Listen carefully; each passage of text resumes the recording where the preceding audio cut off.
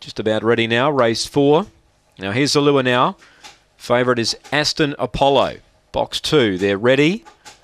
And away began well Aston Apollo. There's uh, well, there was going to be more speed, Bo Bo Bo, but Aston Apollo railed up and kicked away. Three lengths the margin now. Woodside Zorro charges into second from Harvey Spectre. A gap to Bo Bo Bo. Around the outside goes Fear Ferran. Well back Tilka Joy. Yastreb can't get into it. Neither can better watch that. But Aston Apollo, he does it well. He turns three clear and he wins by about two and a half on the line.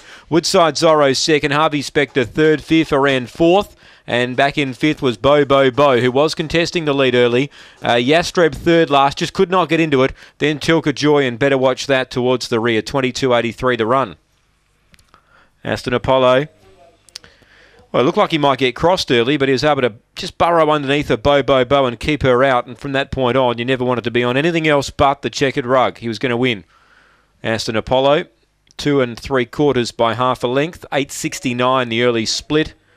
They've carved out a run home of 14 14, 22 83. Aston Apollo, number two, Troy Murray. Too good. One second, Woodside Zorro. And seven third, Harvey Spectre. Four is fourth, Fear Ferran. And if you back Yastreb, well, you can forget he went around. Uh, uh, just could not get a sight of the lure at all from box number eight. 22.83 the run. Now, race five, first uh, heat of the Gawler Produce. Scratching number five. Uh, two vacant boxes. First leg of the quaddy, and that